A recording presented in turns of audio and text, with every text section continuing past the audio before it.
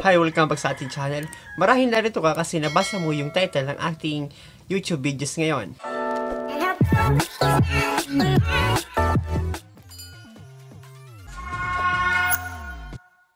Ang video natin ngayon is kung paano ba magagamit yung ganitong klaseng printer para makapag-print ng isang long size na document. Actually, yung ganitong klaseng printer ay pwede lang makapag-print ng A4 at short size na coupon band. But ang gagawin natin is magagawa tayo ng isang strategy o yung methodology para makapag-print tayo ng long size sa isang A4 na printer. So ito po ay isang P200, nabili ko siya ng around 2,900 pesos. At sa ngayon po, hindi ko alam kung available pa to sa market. But yung ganitong strategy is gumagana sa lahat ng klaseng printer. As long as yung printer nyo is yung mga 3-in-1 printer na kagaya nito. Kasi may mga printer tayo na more than 10,000 yung price, yun yung pwede mag-xerox or mag-photocopy ng isang short document.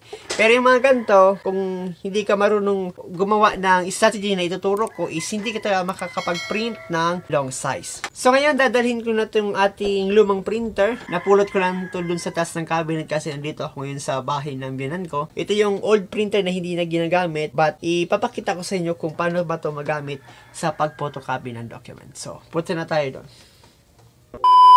So, ngayon mag-start na tayo ng ating tutorial kung paano tayo makapag-print ng long size na document sa isang A4 size na printer. Sisimulan natin ito syempre dun sa pag-on mismo ng ating computer o ng laptop natin at itong ating printer.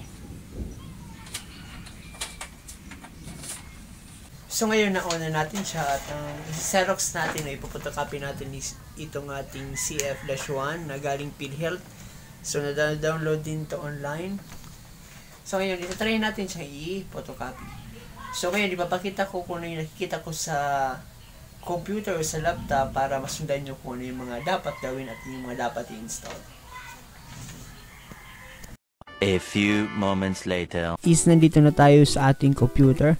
Ang una nyong gagawin is mag-install ng application na pwedeng gamitin para makapag-scan kayo gamit ang inyong printer. Sa akin, gumagamit ako ng ViewScan. Ito ay isang professional version pero pwede kayong gumamit kahit anong klaseng program na pwede mag-scan gamit ang inyong printer. So ako, ito yung ginagamit ko. So dito makikita nyo may mga source tayo dyan. Ang source natin is Canon P200 kasi yun yung ating printer. At ang media natin, meron mga choices dito. Kalimitan, kung for example, ang gusto nyong i-photocopy is yung purong text lang at walang mga picture-picture, pipili nyo yung text. Pero kung gusto nyo, or kung yung mga ipo-photocopy nyo is may mga picture na gusto nyo lang siyang black and white, na same as yung mga nakikita nating photocopy na black and white lang. So, pipiliin nyo is black and white photo. So, i-scan. By the way pala, pag mag-i-scan kayo, i-scan nyo muna yung upper part ng long size na document. So, makikita nyo dyan yung sa upper part siya. Wait lang natin na makatapos yung ating scanning. So, after nyan, nakikita nyo dyan na na-scan nyo, na yung upper part niya. Sunod, i-scan nyo uli pero yung lower part naman. So, i-scan nyo uli. Ngayon, ini-scan ko is yung lower part naman. Sa pagpo-photocopy ng ganitong klaseng document, kailangan mong i-photocopy or i-scan yung upper at lower part na. Aminin ko sa inyo na ang ganitong klaseng photocopying strategies is medyo matagal as compared dun sa magpapapotocopy ka lang dun sa mga photocopying center. Pero ina-advise ko tong gawin once na dalawa, tatlo, or apat lang yung is-photocopy mo. Kasi kung maramihan na, maraming oras yung magugugol mo sa pag-photocopy nito. So ngayon na photocopy na or na-xerox na natin yung hindi na xerox but na-scan na natin yung upper at lower part. Pupunta na tayo sa Adobe Photoshop. So makikita nyo medyo maproseso siya. Pero okay lang.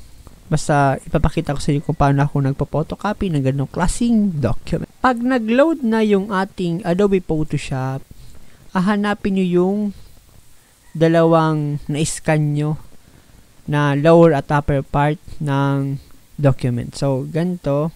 Punta tayo dun sa pictures. Then, hahanapin natin yung dalawang picture na yun. So, kalimitan, ito yung dalawang yan. Okay? So, makikita nyo, dito, may upper at lower part siya. So, Pag ganitong black and white na medyo malabo, i-auto levels nyo lang. Auto levels. So, makikita nyo is ma medyo ma malinaw na siya. Pagpasensya nyo yan yung line nakikita nyo dyan dahil din sa printer natin masyado na kasing luma. So, ngayon, ikakrop natin tong lower part. So, ganyan. Okay. So, pag nakrop na natin yan, gagawin nyo is makikreate kayo ng bagong canvas. So, Control N. Ang size ng long coupon band is 8.5 by 13 and resolution niya is pipiliin nyo parati is 300 pixel per inch. So, RGB color lang. So, ganyan. Ngayon, move tool. Pindutin nyo to. Then, move. Yan. So, pagkatapos nyan, part 4, ganda lang. Parang ilalagay nyo lang sa ibabaw. So, ganyan na siya. Ngayon, meron na kayong A4, or not A4 but long size na coupon band o long size na print out ng inyong long na document. So, control P mo lang yan. Kung ipiprint mo lang, then 13, ang width is 8.5, then click nyo yung print. So, okay. Sa printer, ganun pa din. Ito, piliin nyo sa 8.5 by 13. Okay. So, so ngayon, nagpiprint na yung ating document. Ngayon, tapos na tayo. Sana may matutunan kayo. Kung may natutunan kayo, don't forget to like and subscribe sa ating YouTube channel. Then, click that not- notification button para maging updated kayo sa mga susunod nating video. Thank you.